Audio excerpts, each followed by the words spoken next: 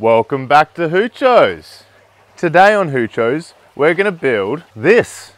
This is a hybrid shade house slash greenhouse that you can customize to your environmental needs in the location that you're growing.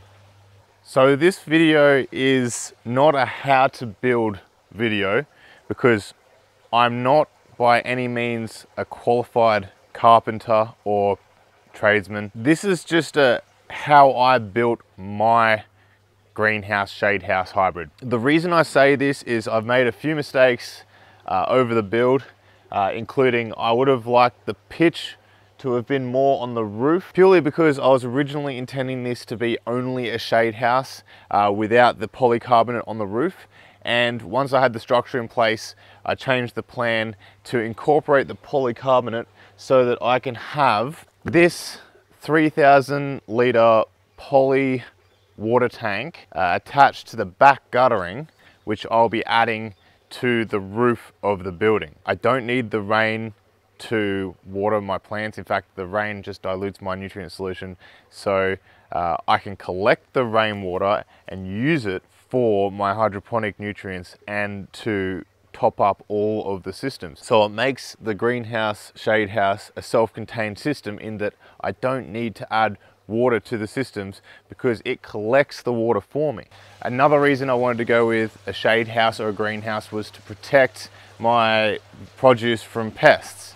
So uh, this is 50% shade cloth and insects have a really hard time getting through. I'm not saying they're all not going to get through, but it'll prevent a large percentage of them from entering in and laying eggs, especially larger flying insects, which are the main problem in hydroponics, as they can just fly onto your crop, lay eggs, and then their young will just eat your plants. There's no real worry about soil-borne pests in hydroponics. So if you can eliminate the flying pests, you'll eliminate most of your pest problems. Another reason I went with the shade cloth and not the greenhouse material for the outsides and eventually I'm going to have shade cloth coming across the top of the building is that I wanted protection from the intensity of the Queensland sun. 50% is right for my area.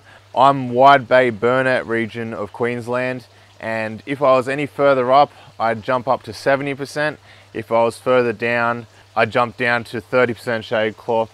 However you can tailor the shade cloth or greenhouse material, the poly material that you could add to the sides instead of the shade cloth to your needs and your climate. If I were to do fully poly walls and roof uh, this greenhouse would be way too hot for my climate. Later on, I'm going to install shades that pull across the roof with 50% shade cloth for the summer months. But for now, we're just heading into winter and I don't require those shades on the roof yet. But as you can see, I've installed the bolts ready for the wires that I'll have the shades retract over the top of my system on. So let's get to building the structure. I was sad to see it go, but I had to dismantle the old system. It was definitely my least favorite part of this whole build, but bigger and brighter things to come. I pulled it down and I got a bloke in to level out the area. So I wanted the entire building to be completely level before I started building on the site. For the larger structure, I actually got a mate to help me out. So I picked up some stuff from Bunnings.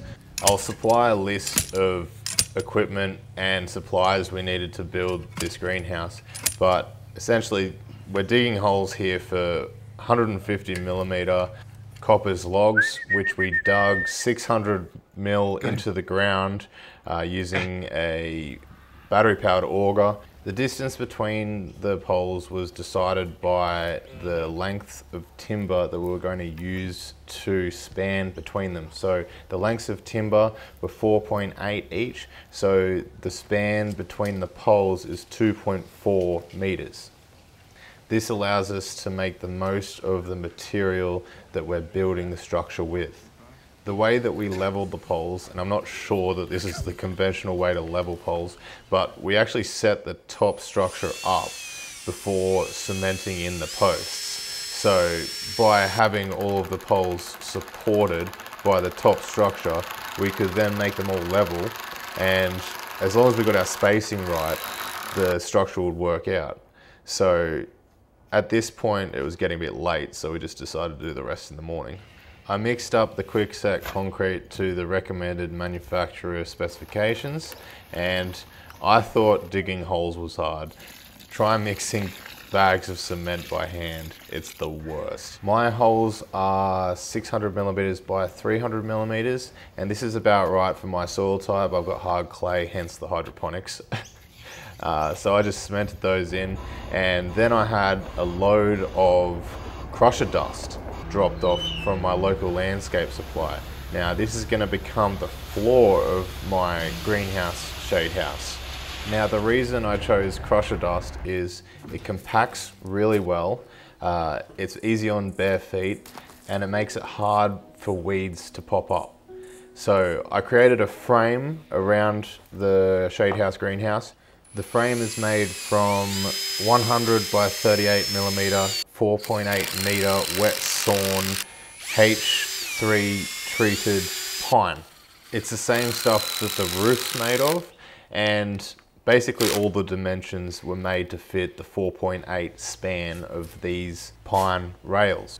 Once I had the frame in place around the bottom border, I could then spread out the crusher dust uh, in such a way that I could level it out so that it was an even 100 millimeters across. Now this took four cubic meters of crusher dust for my area uh, and that was, I think it was 37 square meters. So 100 mils over 37 is just under four square meters of material. Once I had all the material laid out in an even-ish fashion. Uh, I rented out a compactor, which I'd never used before, but I figured, you know, how hard can it be? So I leveled it out with a landscaper's rake, finished it off with a level and a flat piece of timber so that I could get it nice and even and started up the compactor.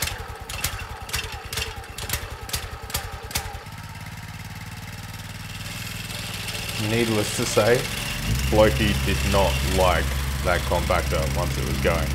But it was a lot easier to handle than I thought. The key idea is to let the compactor do the work for you. As it vibrates each step it takes, it will move a section forward and it will basically just walk itself around without you putting any effort in whatsoever. So I also recommend wetting the ground. It makes it a lot easier to compact and also it removes the dust that you stir up as you compact. Once I had the floor done, it's now time to install the roof. Now, I was using polycarbonate panels, which required a 10 millimeter hole be drilled into the polycarb before screwing it down with the self-sealing roof screws. You can actually get screws that will drill the hole and screw it down, but they are actually poisonously expensive. I sealed all of the ends with specific foam that's made to seal for roof panel sheeting. And this is so that I can insect proof the entire roof once I have the side panels on as well. I didn't want insects finding their way underneath the corrugations in the roof paneling. The roof itself is just held together with batten screws, which I've joined each piece of timber with. And once I'd finished the roof, I couldn't help but test it. I created a door frame out of the same 100 H3 timber and installed it for a screen door that I picked up for next to nothing that I will use as the entrance to the shade house greenhouse. Now there are a lot of ways to hold shade cloth and greenhouse film onto a structure like this and they're all really expensive. I wanted a way that I could easily put on and take off shade cloth uh, if it gets damaged and the way that I came up with was using eyelets and wire rope strung around the outside of the building and in between the eyelets I'd use little horseshoe nails to keep the wire close to the building. And then I could just go along with netting clips and clip the shade cloth to the top, the bottom and the middle of the building where I'd have the stainless steel wire strung along. To tension the wire, I just used galvanized turnbuckles, which I attached to the wire with galvanized wire clamps that I tightened in place. And I use these clamps to attach the turnbuckles and at each end of the wire. The other fixing you can see there is a galvanized eye bolt. And once you've finished framing a door, you really got to test it out properly. And it worked. I used this chainsaw to make the ends flat for the guttering and now it's time to put in the horseshoe nails to hold that wire in place where there's no eyelets and we can start to attach the shade cloth. Now the shade cloth I'm using is a white 50% shade cloth 3.66 by 60 meters and I'm attaching it with these uh, shade cloth fixings and nails to the hard to get to parts and these are netting pliers and netting clips which I'll be using to attach the shade cloth to the wire that's strung around the top, middle and base of the structure. So I'm just doubling the top over and attaching it with those netting pliers so that I get a nice good grip on at least a couple of layers of the shade cloth. Now the reason that I've used white shade cloth for this build is because it doesn't affect the spectrum of light that's entering into the shade house greenhouse. The top polycarbonate panels for the roofing are UV resistant so I'm already blocking out UV light from the top so I'm hoping to get enough UV A and B in from the sides to negate that and with the white shade cloth I'm not messing with the spectrum at all. So I shouldn't get any leggy growth or any other negative effects from uh, a warped spectrum.